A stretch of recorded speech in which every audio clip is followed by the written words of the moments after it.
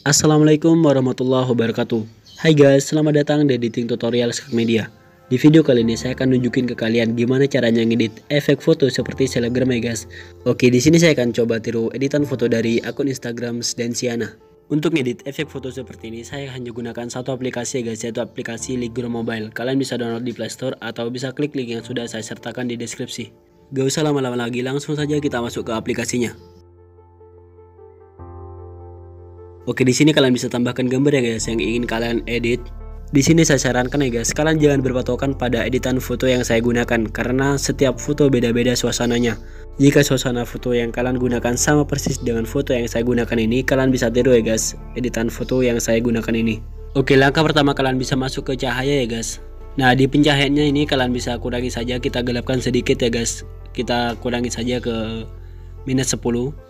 Nah, kemudian untuk kontrasnya kita turunkan juga guys. Kita turunkan aja, kita buat gelap aja dikit. Pada bagian kontrasnya ini kita turunkan ke uh, minus 69 ya guys.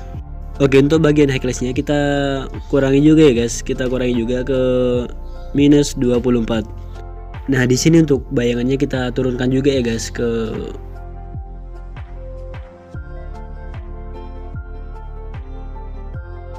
kita turunkan juga ke minus 45 Nah kemudian untuk rona putihnya kita turunkan juga ya guys. Kita turunkan juga. Kita buat di sini menjadi gelap dulu ya guys. Menjadi ke minus 50 nah kemudian untuk hitamnya kita naikkan ya guys. Kita naikkan ke angka 24 saja.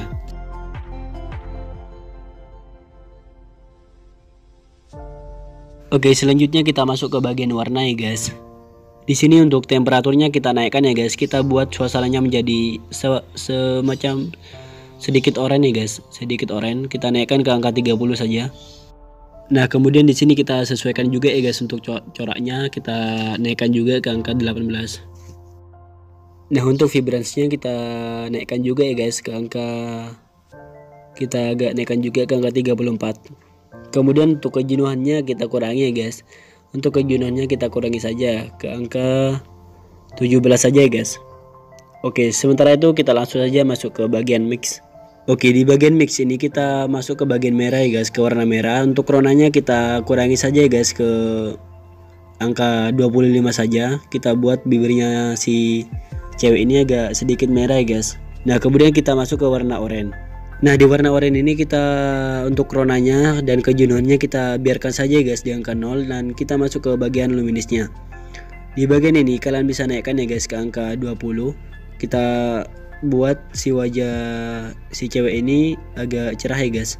Oke selanjutnya kita masuk ke warna kuning. Di bagian kuning ini kita turunkan saja ya guys untuk ronanya kita turunkan saja ke angka 100 dan kemudian untuk kejenuhannya kita kurangi juga ya guys. Kurangi juga ke angka ke, ke angka 31 nah di sini untuk luminisnya kita biarkan saja guys di angka 0 kemudian kalian bisa klik selesai ini.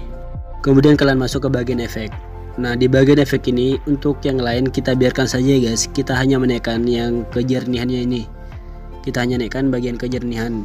Kita naikkan sekitar eh, 30 ya guys Oke selanjutnya kalian bisa masuk ke detail ya guys. Di bagian sini kalian bisa naikkan saja ketajamannya eh, Sedikit saja ya guys. Gak usah tajam-tajam. Sekitar 8 saja. Oke untuk radiusnya kalian biarkan saja di angka 1 Kemudian untuk detailnya juga kalian biarkan di angka 25 untuk maskingnya kalian biarkan saja ya guys. Dan untuk pengurangan noise nya kalian bisa naikkan ya guys ke angka uh, ke angka 20 oke untuk bagian detail ini kalian bisa biarkan juga ya guys di angka 50 kemudian di kontrasnya kalian bisa biarkan saja ya guys di angka 0 nah kemudian untuk pengurangan noise nya juga di bawah ini kalian bisa naikkan saja ya guys ke angka 8 sedikit saja ke angka 8 oke. Kemudian untuk detailnya sama kehalusannya kalian biarkan saja ya guys di angka 50 kemudian kalian bisa uh, lihat ya guys perbedaan ya guys dari pertama kalian edit fotonya seperti sekarang kalian bisa cocokkan ya guys dengan akun Instagram Sdensiana ini. Kalian bisa cocokkan dengan kemiripannya kemiripan efek foto pada uh, si selebgram ini ya guys. Oke mungkin cukup sekian ya guys untuk tutorial kali ini. Silahkan lagi jika kalian suka dengan video ini dislike aja jika kalian tidak suka. Dan sampai bertemu lagi di video berikutnya. Thank you guys